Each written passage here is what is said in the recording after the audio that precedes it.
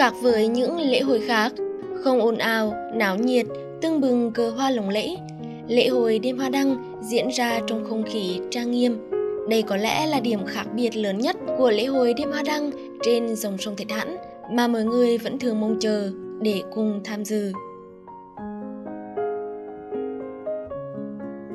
Lễ hội đêm hoa đăng được tổ chức định kỳ vào 14 âm lịch hàng tháng tại bến thả hoa bờ Nam, bờ Bắc sông Thạch Hãn. Trong 81 ngày đêm mùa hè đỏ lửa năm 1972, hàng ngàn chiến sĩ đã bất chấp hiểm nguy, bí mật vượt sông Thạch Hãn để lập nên những chiến công hiện hết.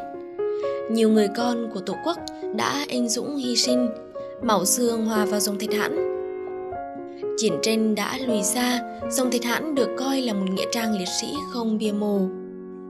Chương trình Đêm Hoa Đăng được tổ chức là hoạt động ý nghĩa, đầy tính nhân văn, thể hiện đạo lý uống nước nhớ nguồn, đền ơn đáp nghĩa, nhằm tôn vinh và ghi nhớ công ơn của những người đã anh dũng hy sinh bảo vệ đất nước.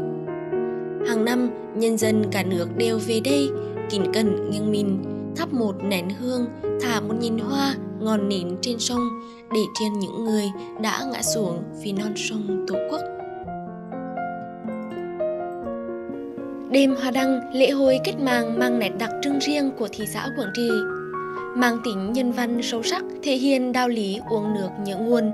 Vào ngày 14 âm lịch hàng tháng, mời quý vị và các bạn đến với thị xã Quảng Trị để tham dự lễ hội đêm hoa đăng triền các anh hùng liệt sĩ trên dòng sông Thạch Hãn.